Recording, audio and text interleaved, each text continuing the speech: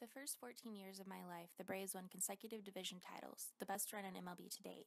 They were the first team in the National League to go from last place to first place the next year. They went to the World Series five times and won one. On my first trip to the local library after moving downtown 20 minutes from my home, I quickly discovered there were only two Braves books on the whole four floors The Miracle Season and a book by John Smoltz that I wish I could remember the title of. I read that thing like it was a holy canon that quiet, lonely summer.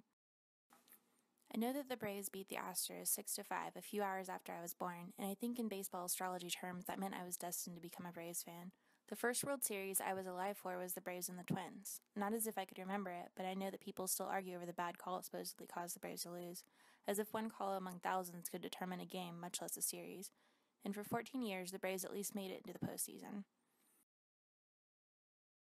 I remember rounding the corner at spring training to see John Smoltz pitching for the first time and subsequently falling in love with his embodied finesse of the sport. At that moment, I became a Braves fan. After an extended flirtation with Champion Stadium, the Ted and I first met when I was 14. My longtime fan grandparents introduced us. Fast forward, and you have me three years ago, obsessive fan as I was, feeling an entirely renewed and amplified love of my Braves, watching them win in person for the first time I can remember. Of all the times I remembered watching my first game at the TED with my grandparents as a kid, seeing that first game with my best friend and greatest love, the very first game that I didn't drag an unwilling boyfriend to, seeing them win for the first time, even in a losing season, was a feeling of fire I could never have imagined. It was thrilling. This moment stayed at the top of my list until I spent my 21st birthday standing in the pouring rain, watching Kris Medlen break his half century old record and Chipper Jones getting misty eyed after standing at the plate for the last time at the TED. All of these moments that make up such an important part of my life all happened at the TED. Most days I wander through life with the off chance that I might see someone in that red and blue cap with the Chris White stitched A. And when I do, seldom as it is, nine times out of ten they have no idea that the cap connects to a team, but only a city, and those walls, surrounded by 50,000 fans, 50,000 people who felt the same as I do, who share that undeniable bond, I was part of an intimate family of 50,000 who cared as much about Freddie Freeman's childhood stories as their own grandchildren's young years. Each person has a story about the TED, about the first moment when they walked in and heard the world famous roar of the tomahawk chop, about the $1 seats that had the worst view of the park but were the hardest to get because the legend of how Ted Turner specified they would always stay that price, so that anyone can watch a Braves game.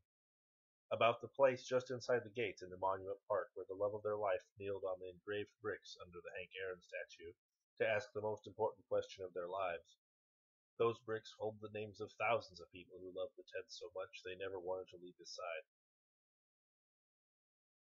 Outside of the gates, in the parking lot, almost unnoticed by most, is the place where the Fulton County Stadium used to exist. When the Ted was built, they commemorated the old park by putting down memorial markers where the bases used to be, just like you would for an old friend. Sometimes, if you wait for all those who are hurriedly shoving their families in their cars, honking and making risky maneuvers to beat the infamous Atlanta traffic, you'll see an old timer reading and looking at the metal home plate, reaching down to touch it and closing their eyes to relive old memories. Here is where the slide happened you can stand on home plate at the exact spot where, in Game 7 of the National League Championship Series in 1992, Sid Bream looked up grinning at the home plate umpire, waiting for the safe call that would send the Braves to the World Series. You can physically touch that place in history where his teammates piled on top of him, on top of home plate. If you find yourself at this plate, turn around and you'll see a 750 foot tall photo of a baseball towering above the TED.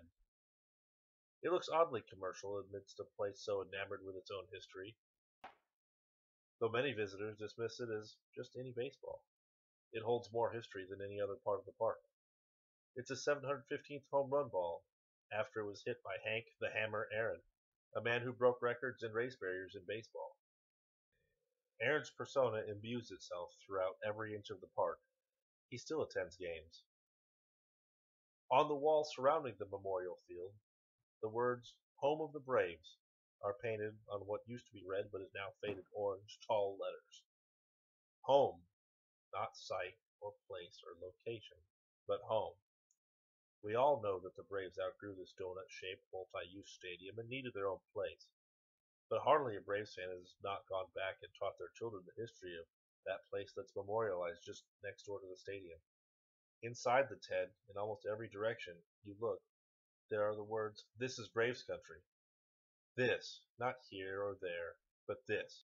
As if this is more than a home. This is where the Braves belong. Those words seem fake now, more a marketing scheme than a testament. Many of us are angry. We don't understand why anyone would want to take the TED out of Atlanta, to destroy the history set into this sacred place over five decades in one fell swoop of a wrecking ball and replace it with office buildings. We don't understand why Atlanta would so easily give up this stadium, where the Olympics were once held, where Hank Aaron changed baseball forever, where so many found pride in their city. But we must come together peacefully and accept what has happened. Instead of give up on our team, boycott the new stadium, hold jersey burnings, we must overcome our anger and hold on to what we have left. If home is where the heart is, the TED will always be our home, but we must open our heart anew and learn to love again.